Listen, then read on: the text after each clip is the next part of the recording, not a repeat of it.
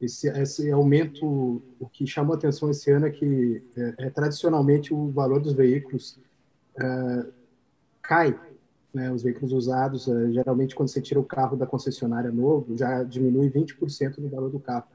Só que esse ano teve é, uma coisa muito atípica aí, devido à falta de semicondutores nas fábricas, aumento do dólar, falta de outros insumos aí, que fizeram faltar carro zero e acabou impactando, supervalorizando os carros usados.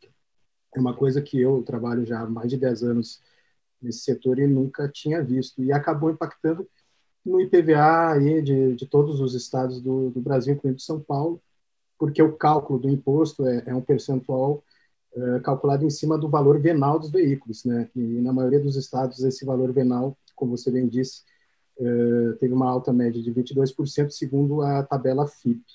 Então, o que, que os estados têm feito, uh, incluindo São Paulo, uh, estão oferecendo descontos e mais, mais, mais parcelas para os contribuintes poderem arcar com, com, esse aumento expressivo, né?